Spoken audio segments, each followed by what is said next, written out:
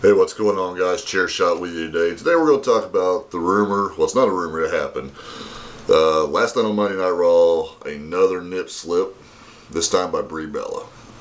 Uh, you know, Caitlyn had hers a month ago somewhere in that area. I don't really sure.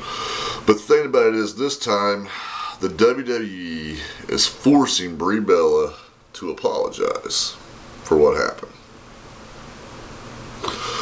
Apparently, she put on her Twitter account, you know, if you don't know, which I'm sure a lot of you do, the girls tape, double tape the nipples, their outfit to prevent this kind of thing. But according to Brie, on her Twitter account, uh, the humidity, the tape came off. You know, she's clapping, and there it is. It, it came out. Uh, know, I'm not going to get real excited over a nipple slip, but a lot of people will because uh, of the celebrity thing. But I think it's just kind of outrageous that the WWE has these girls dress up in the costumes that they wear and everything, and then something like this happens to them, and now you force them to apologize. I don't know. It's just kind of fishy to me.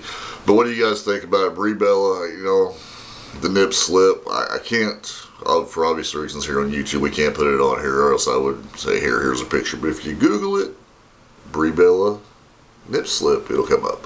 Um, but what do you guys think about this? You know, WWE a little bit too much with the, the forced apology, or is it rightfully rightfully so. I'll let you hear you guys comments, your thoughts about it.